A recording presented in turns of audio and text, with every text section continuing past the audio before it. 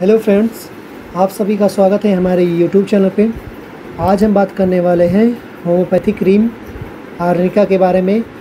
ये क्रीम जो है स्प्रेन और ट्रोमेटिक इंजरी के लिए बहुत ही अच्छी क्रीम है।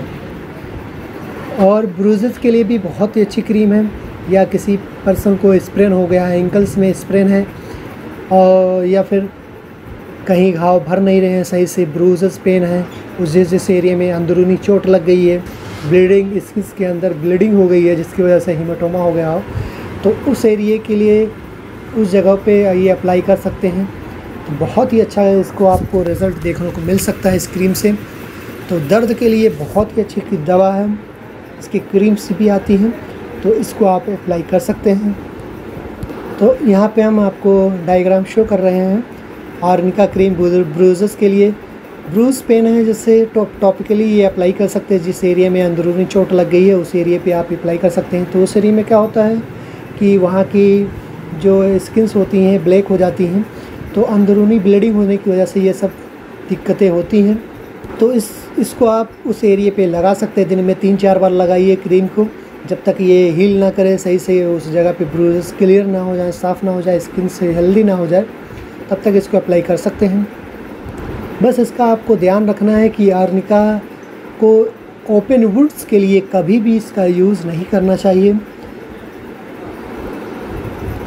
अगर ओपन वुड्स हैं, ओपन वुड्स है तो आप कैलेंडुला या हाइपेरिकम क्रीम को अप्लाई कर सकते हैं उस सिचुएशन में। लेकिन अगर ओपन वुड्स है तो आर्निका का इस्तेमाल आप बिल्कुल ना करें। हम आपको इसको सजेस्ट नहीं करेंगे कि आप इसको ओपन वुड्स में इसको अप्लाई करें। तो ये आप बिल्कुल ना करें, ये क्लोज वुंड्स जितनी भी हैं, इसको आप अप्लाई कर सकते हैं। हेड इंजरी हो गई हो, उसमें भी आप माइनर हैंड हेड इंजरी है तो इसको आप अप्लाई कर सकते हैं उस एरिए पे। एंकल में स्प्रेन कर गया है तो इसको आप अप्लाई कर सकते हैं, जिसकी वजह से जॉइंट्स में दर्द होने लगता है। तो ये आप अप्लाई कर सकते हैं आरिंका इससे आपको आरिंका में बहुत आरिंका से बहुत आराम मिलेगा। अब हाउस होल्ड यूज़ के बारे में बात कर लेते हैं हम।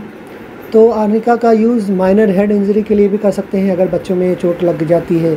घरों में क्या होता है, बच्चे दौड़ते फिरते रहते हैं तो कहीं गिर गिर जाने से उन पर सर में चोट लग गई हो तो इसको आप अप्लाई कर सकते हैं उस जगह पे। कॉमन ब्रूजेस के लिए भी इसको अप्लाई कर सकते हैं।